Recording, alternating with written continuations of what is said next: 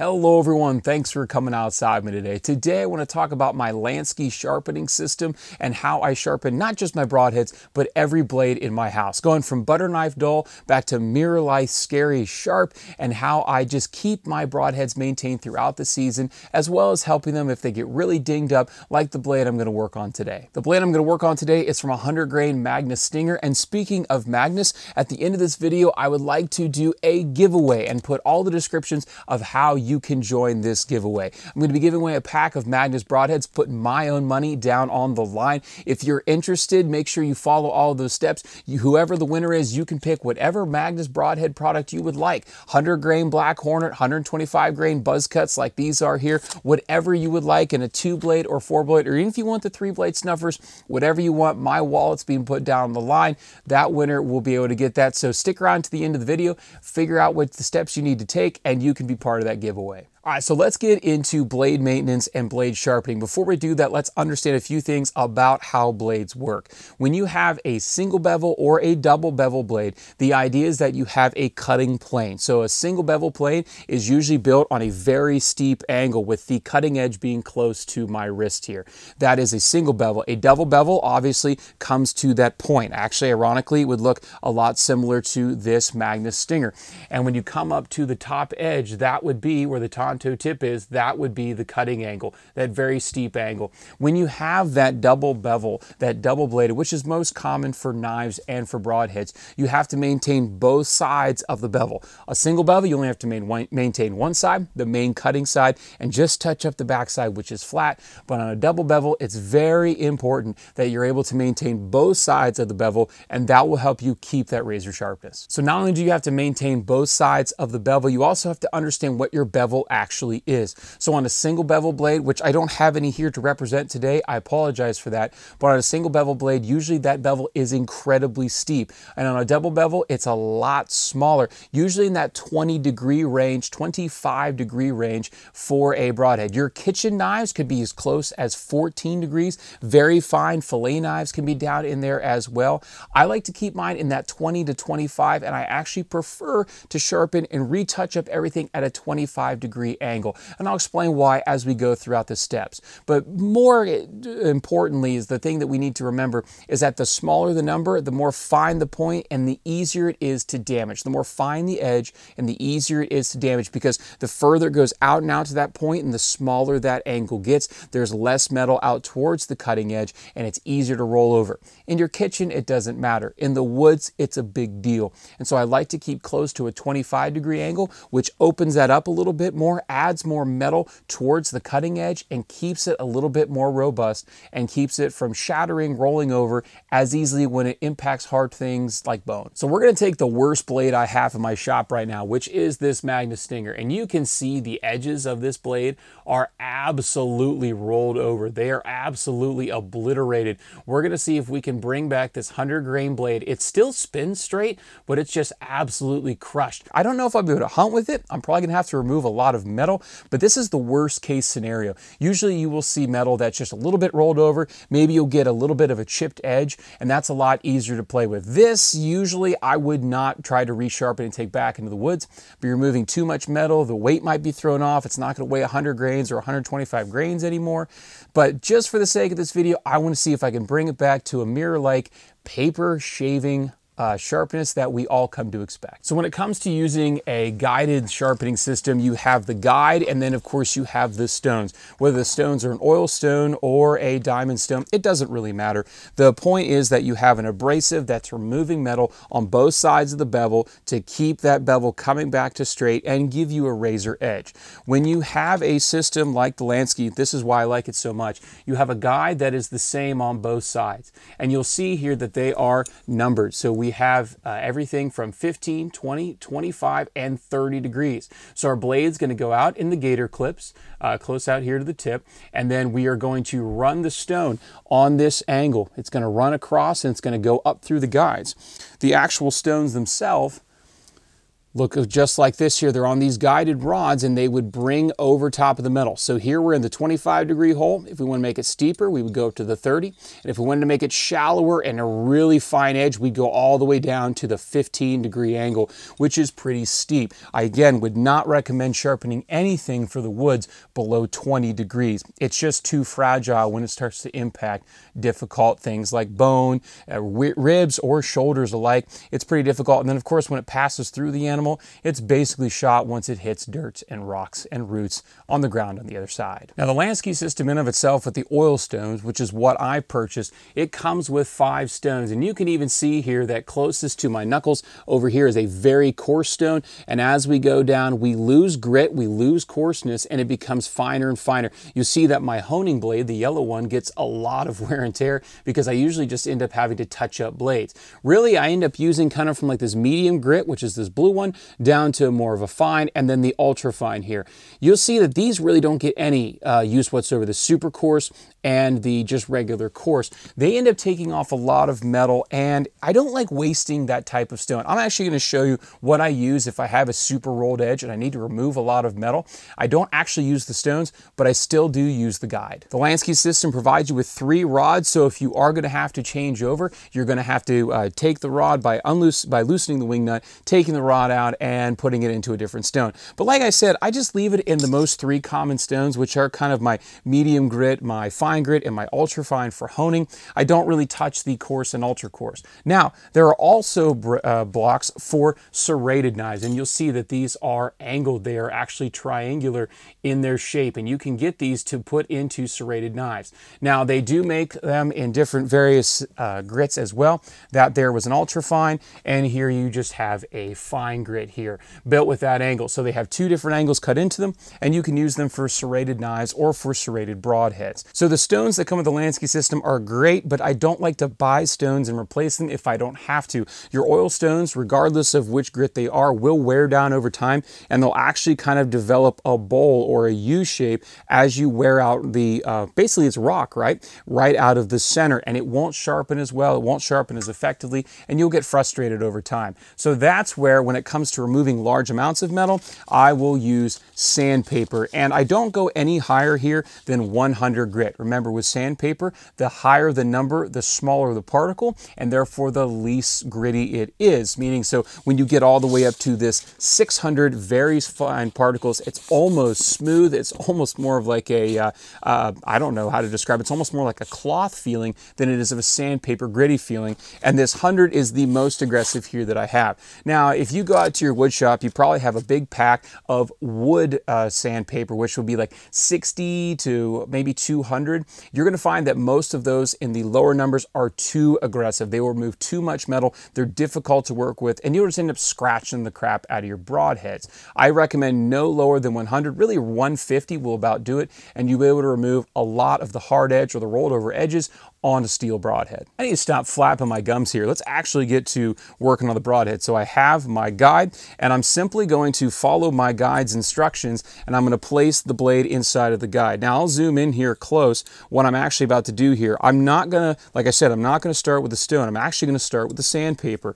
And so in order to do that, usually when you're working with a Lansky system, you want to line this up on a straight edge. So you see I might line it up where the ferrule goes into the broadhead there and that'll give me a consistent straight edge here that I can work with. I only can sharpen one side of the blade at once. So in this case, we're going to sharpen this exterior. When we're done with this, we will open the clamp, flip the blade around, and we'll be able to do the other side.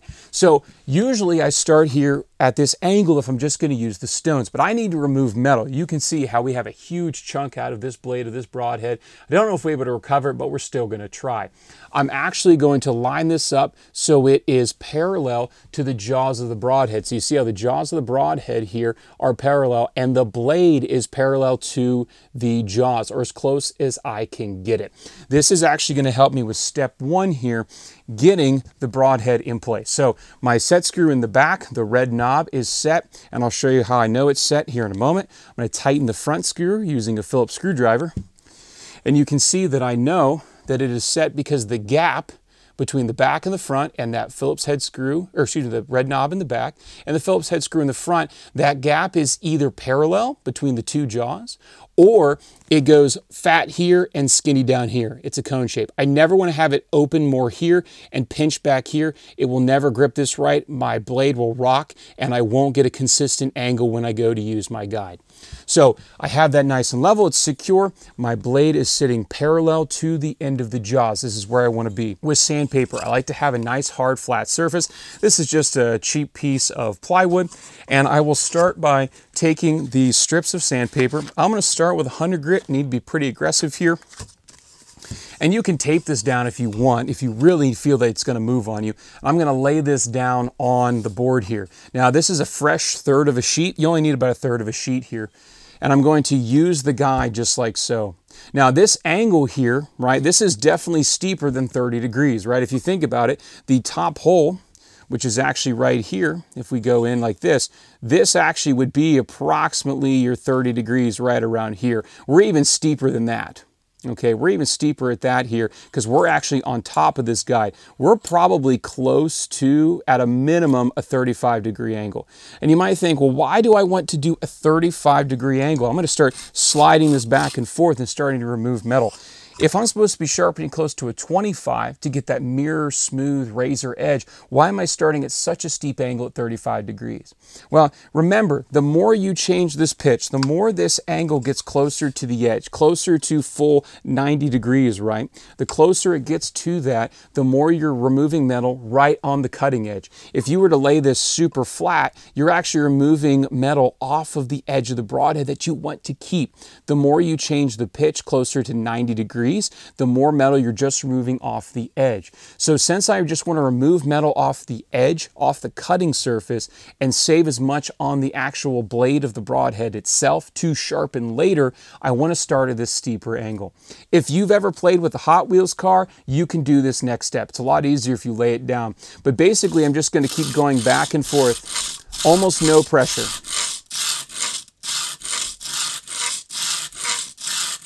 And I want to check my broadhead here and I want to see if I am removing by checking to see if I have scrapes of sandpaper all over it. I can also see here on the sandpaper that I'm starting to collect metal. I'm starting to collect metal right down in here and I'm starting to scrape off some of the sand as well. So that's how I know I'm starting to remove metal. Now, you want to try to keep the strokes even either side and you want to make sure that your jig is not rocking. If your jig is rocking, that means that you didn't put that blade in parallel and you need to make sure the blade's parallel so you don't get any rock and you're getting full contact. Like I said, if you can play with a Hot Wheels car, you can remove metal from a broad broadhead. You can see by looking at this, you can actually potentially even see the fuzz of the actual metal that is starting to come off and stick. And you can kind of see right on the edge, it's starting to get shiny.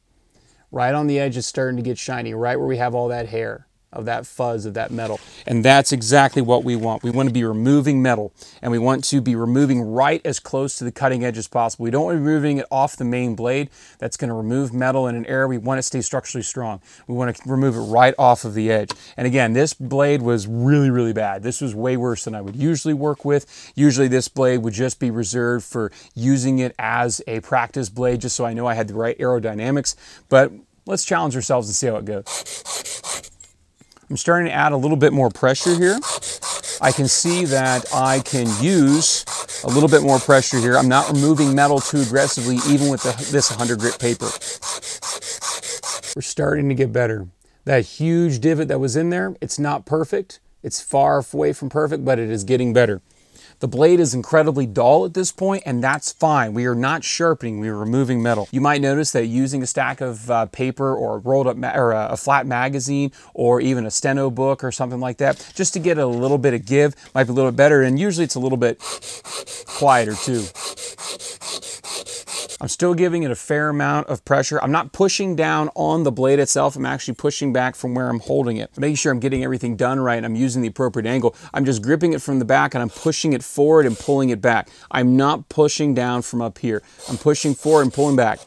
That's all I'm doing. Five, six, seven, eight, nine, ten.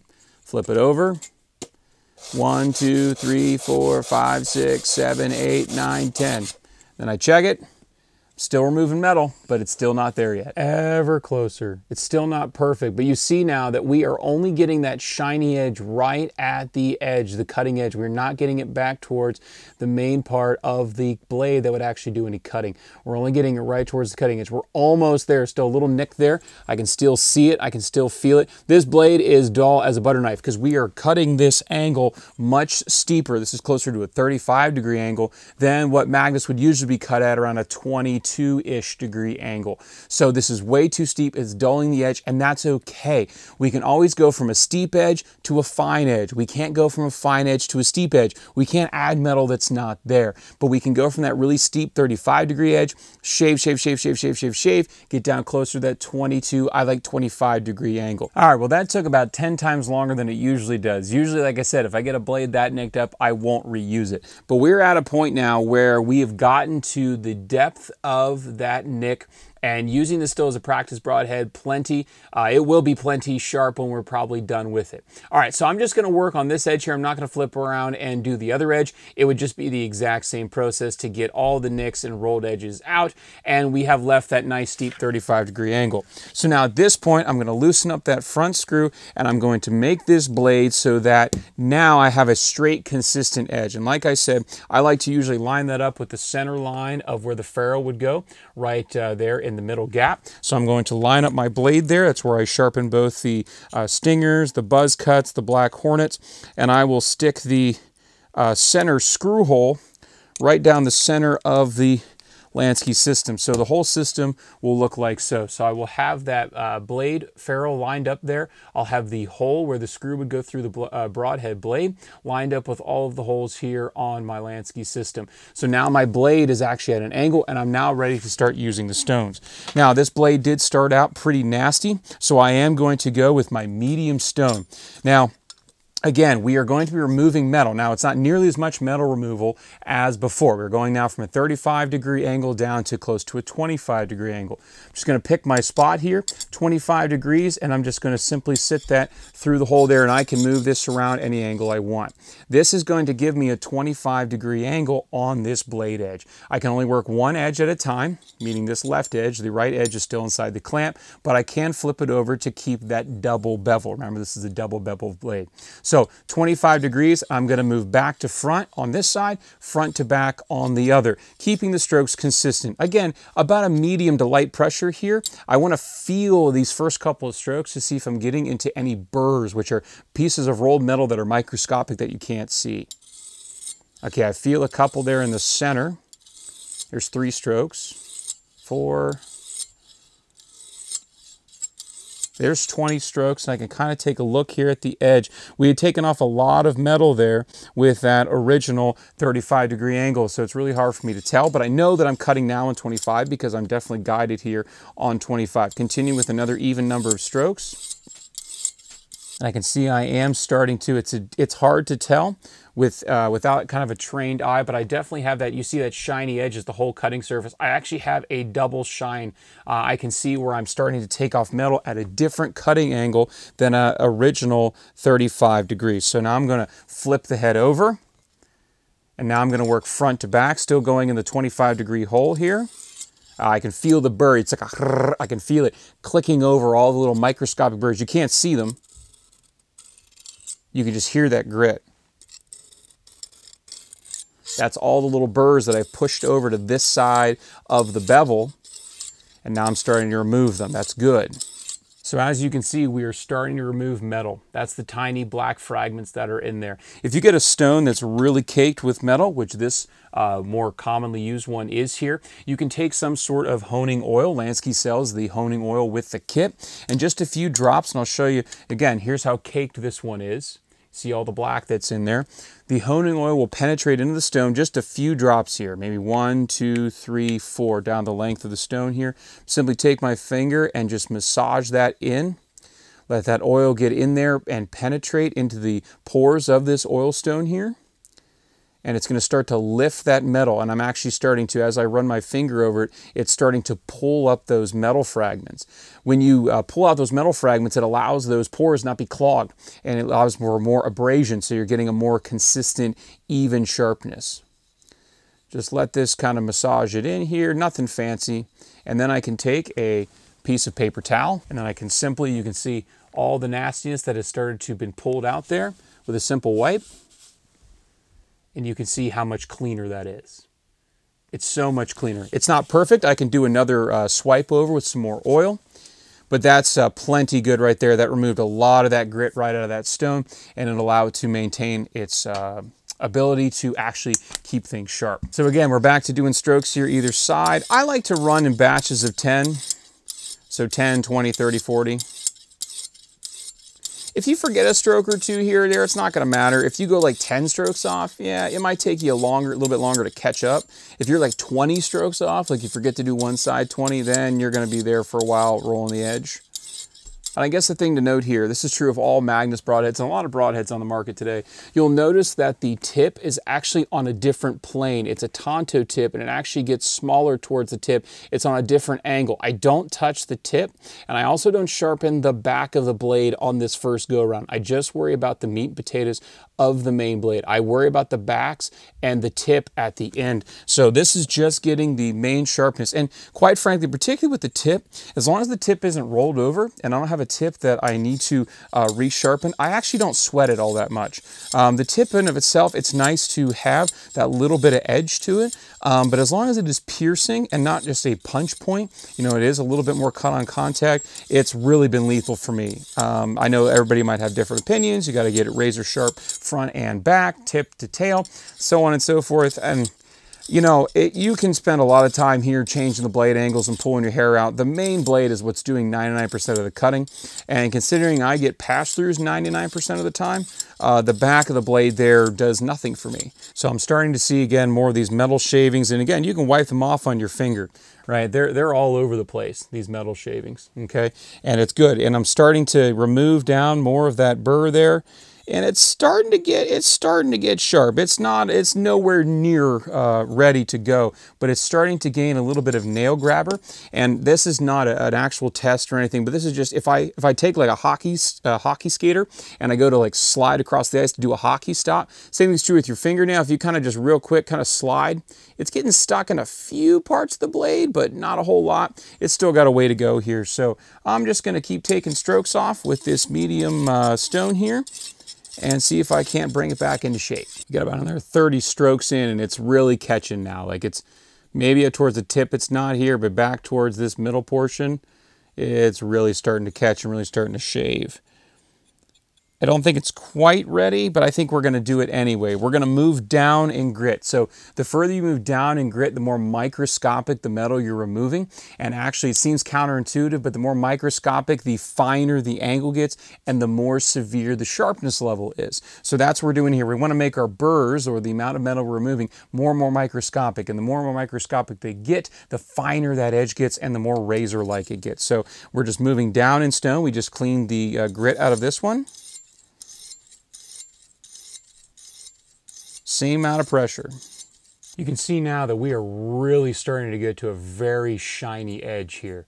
A very more mirrored-like edge than we were at the beginning where it's very dull, very grayed, very rolled over. We're really starting to lose that little bit of the burr. When the further you move in your angles, the tighter you make your angles get, the more you can remove off of the blade. That's why we want to start at that steep angle. So I got down here and I'm even removing more of the metal of the blade than I originally was on the original cutting surface. So I'm just going to keep moving down here with this uh, fine stone. Not ultra fine yet. We're not honing that edge. You can tell that when you're needing to move up in grit and move in the honing when you start to just kind of glide. When you start to stop hearing the burrs come off and you're starting to kind of just glide across the blade, you know you're ready to move up to the next level of, uh, or the next uh, fine of grit on your stone. This is starting to look really good. Like I'm super impressed with how this is going so far every part of it now is starting to catch. Like every part of it, like when I try to dig it into my nail just very lightly. It starts to pick. It actually starts to dig in. It's getting ready for that honing process. And I'm going to take it down to the ultra fine stone. So this is almost uh, like an, uh, uh, I don't know, it's basically smooth. You see you got a little bit of grit in there. I'm okay with that though. I'm not going to clean that out. That still looks pretty good. Uh, you see I got a chip out of it because I dropped this oil stone very soon after I bought it actually. But it still works because you don't really end up using the full length of the stone anyhow. Going right back to 25 degrees. And again, it's the same thing, very light to medium pressure. You never want to be digging into the stone with any, or the, any of the blade uh, with any of the stones. It's just a very light pressure. And you hear there's a little bit of grit, and that's okay.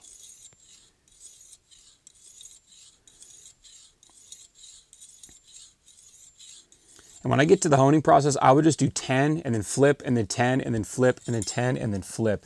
And this is just to try to wipe that microscopic burr down to nothing. And you'll know when you've got yourself a really good edge because it'll feel like you're sliding the stone across glass. All right, so we get in about 30 strokes either side with that ultra fine stone. Let's see if it's ready for a little bit of a paper test. And all I do for this is I want to just have a, a, real quick kind of aggressive stroke into the paper. I like to use a stiffer paper like this kind of target material or kind of a card stock. And I want to see if it'll just kind of take off this edge, take off this corner. Nah, it snags. It does more of a tear here. Nope, it's not quite, it wants to. Like it really does want to. And you can try it too. You can try holding it because this will sit upright on itself. You can do that and then push the paper down on top of it. But I can see here that I'm still snagging some paper down in that grip. It's up towards the tip there. I got a little bit more to remove, a little bit more to hone, and a little bit more to be a little bit more finite with. So let's see if we can get that down to a little bit. And quite frankly, I don't get my broadheads probably as sharp as some of the professional knife sharpeners would do. Um, I've shot some pretty dull broadheads over the years and have had great blood trails, great success. And if you hit them in the right spot, it's fine.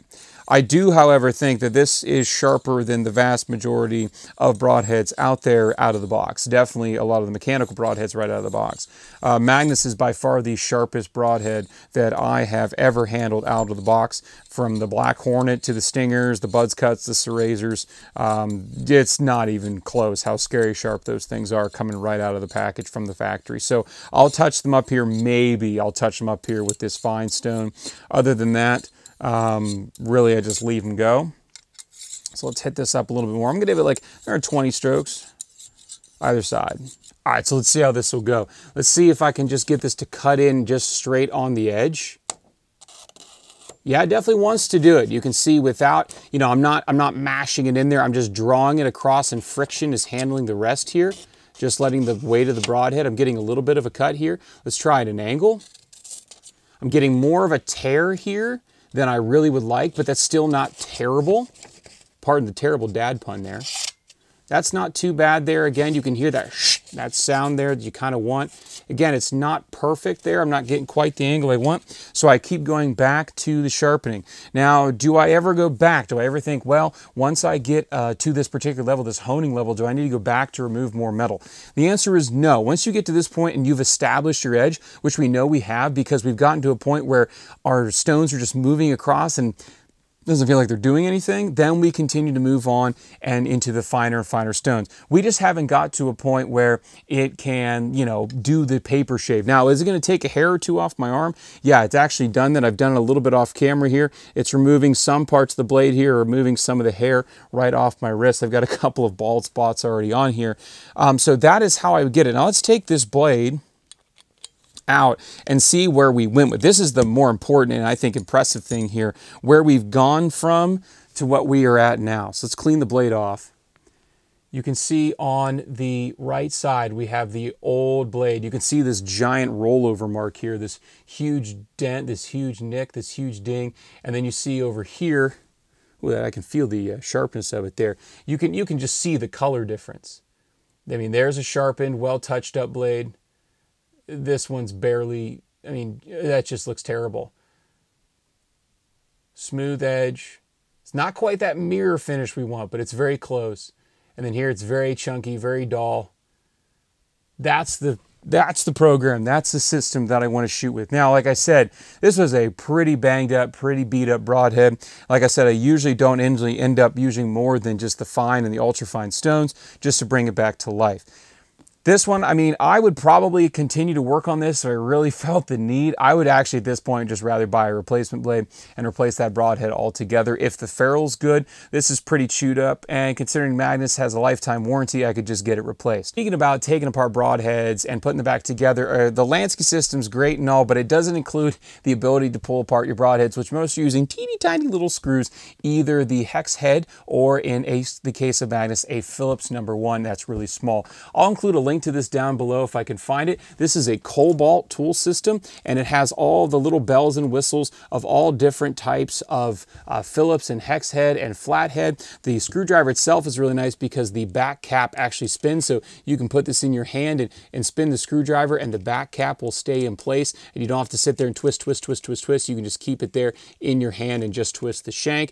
They are all replaceable. So I keep this set at a Phillips number one and I can take apart any Magnus broadhead that I want in the drop of a hat. If I find this tool in a uh, link, I will put it down in the description below. This is just a handy little tool to have around your shop in general, but then for putting back together broadheads, it is invaluable, stays all nice together just by itself, and it uh, basically lives in my Lansky kit, uh, in my sharpening drawer, and it never leaves the shop. All right, if you stuck around this long for the giveaway or you just clicked here in the first place, I give you congratulations. Here's how you would sign up. I'm gonna put my money down for any Magnus Broadhead 3-pack that you want. Black Hornets, Serrazors, Stingers, Buzzcuts, any grain weight. If I can find it and I can buy it, I'll ship it to your house for you.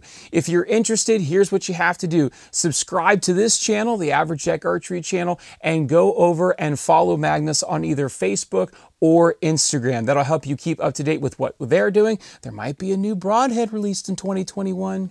Not that I know anything. Like, why would I know anything? That would be absolutely ridiculous. But if you're interested, comment down below. What would be your favorite Magnus Broadhead if you got to be the winner? Comment down below. Subscribe and comment. Follow Magnus over on Facebook or Instagram if you can.